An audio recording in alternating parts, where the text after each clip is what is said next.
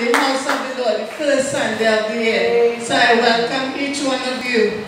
As we begin this year, I want us, uh, I'm going to read Psalm 23. If you have your Bibles, open it and let's read it together. And this will be our guide throughout 2021. We don't know what is ahead, but we know who we trust in. Who will take us through this year. Amen. Amen. Hallelujah. So could you stand and turn to Psalm 23 as we read it together.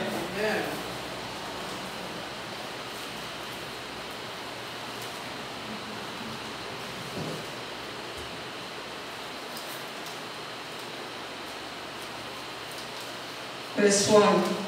The Lord is my shepherd, I shall not want. He makes me to lie down in green pastures. He leads me beside the still waters. He restores my soul. He leads me in the paths of righteousness for his name's sake. Yea, do I walk through the valley of the shadow of death, I will fear no evil.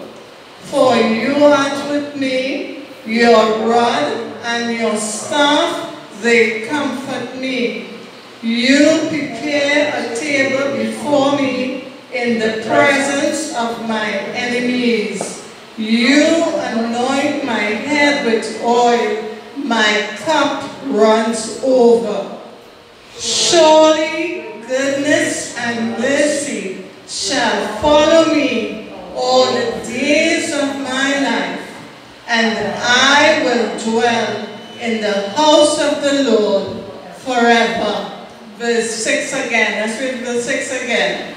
Surely goodness and mercy shall follow me all the days of my life, and I will dwell in the house of the Lord forever. So in spite of what 2021 brings to, brings to us, we will dwell in the house of the Lord forever. And even if the church is closed, we could still dwell in the house of the Lord forever. Our communion must always with, be with the Lord. Hallelujah. Let's give him a praise this morning. Hallelujah.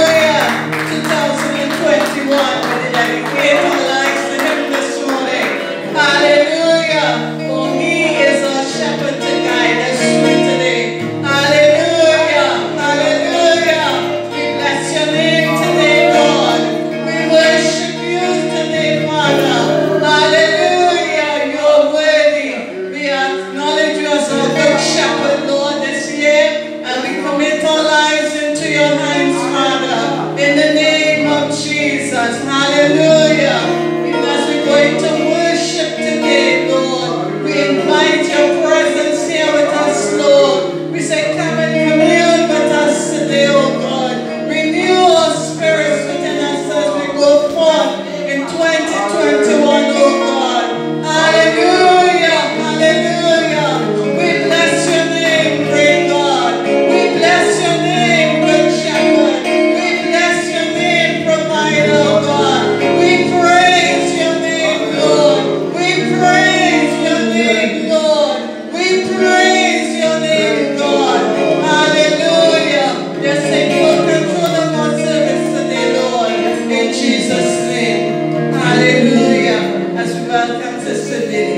Hallelujah. Hallelujah, Father Lord, we worship your holy name. We bless your name this morning, Jesus.